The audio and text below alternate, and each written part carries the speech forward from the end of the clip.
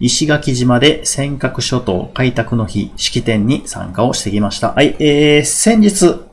1月14日というのがですね、尖閣諸島開拓の日でございました。ということで、まあ、これを記念してのですね、えー、式典が毎年石垣島において、えー、行われております。でですね、あの、今回私初めて、えー、参加をしてきました。まあ、挨拶の機会いただいたということで、まあ、私もね、挨拶をしてきました。まあ、なかなかね、あの、緊張するものですね、えー、大体、まあ、どれぐらい喋っていいのかって、特に時間制限とかないんですけれど、まあ、あんまりね、長すぎるのも、まあ、問題かなとは思いますけれどね。あの、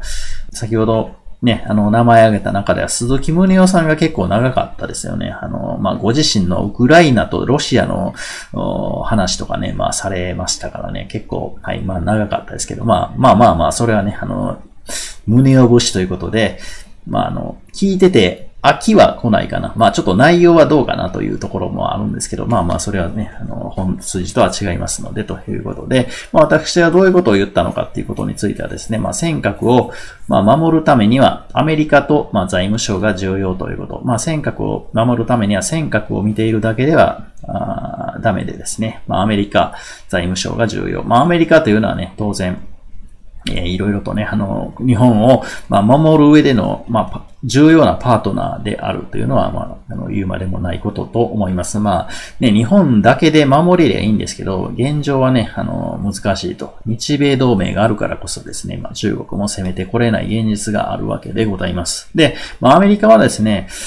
確か2021年だったかな、あの、上院の方で、確か、えー、中国の南シナ海の進出に対してですね、まあ、制裁を加えるぞというですね、法案が、まあ、通っております。えー、マルコ・ルビオ上院議員あたりがですね、結構ね、あの、過激な、えー、まあ、対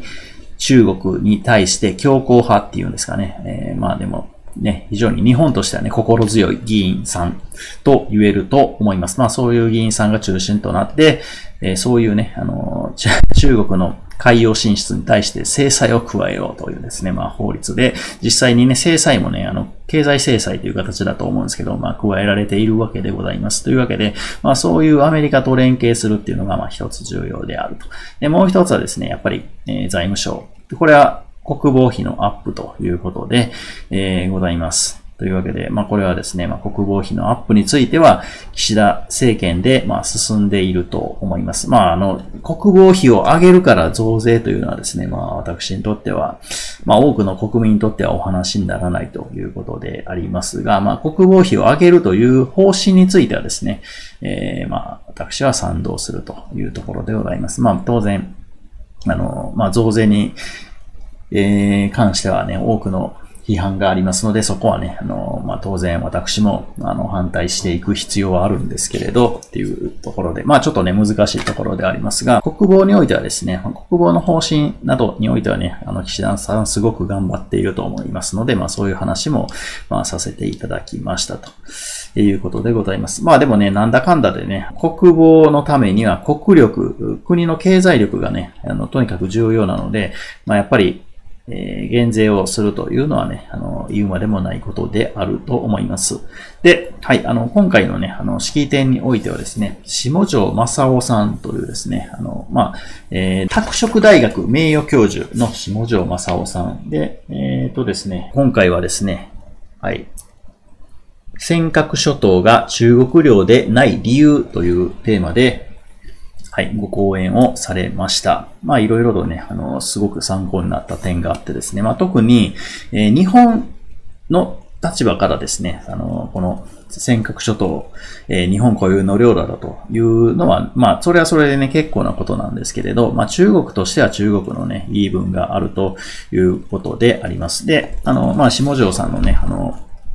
講演内容ではですね、まあ、中国側が提示している資料もですね、まあ、しっかりと吟味した上で、まあ、それでも、えー、中国、